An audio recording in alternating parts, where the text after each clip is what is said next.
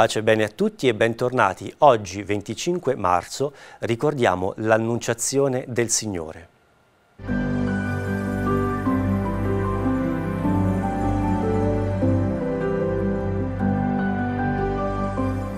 Il termine Annunciazione deriva dall'annuncio che l'angelo Gabriele fece a Maria sulla nascita del Messia.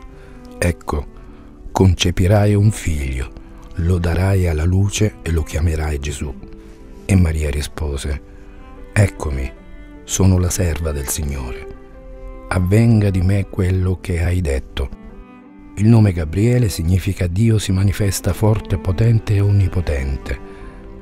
Ed è proprio lui che porta l'annuncio a Maria, rivelando l'onnipotenza di Dio.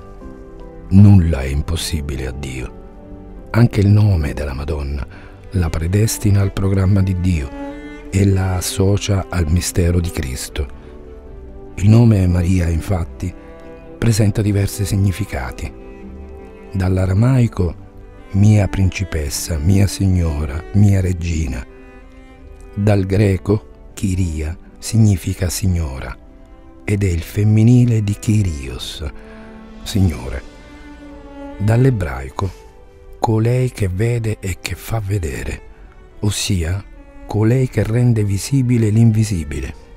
Dall'egizio significa colei che è amata da Dio. Maria è la sempre amata da Dio, perché è voluta in modo assoluto insieme a Cristo nell'unico e medesimo atto di predestinazione.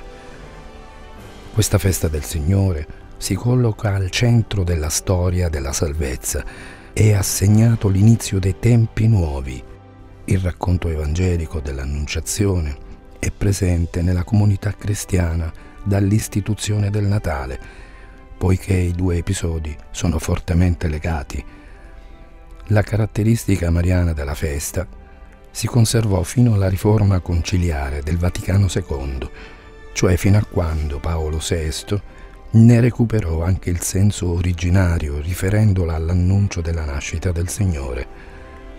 Con lei il popolo della promessa diventa il nuovo Israele, la Chiesa di Cristo. La data della celebrazione al 25 marzo è legata a quella del 25 dicembre, del Natale, dalla quale trascorrono i nove mesi della concezione e nascita del Salvatore. Ecco, se la storia della salvezza fosse un film e Dio fosse un regista, io direi senza dubbio che questa dell'Annunciazione sarebbe la scena capolavoro. Dio che si china su una creatura bellissima e pura, splendente, la Vergine Maria, per uh, rivelargli i piani della salvezza e in che modo lei è coinvolta in tutto questo.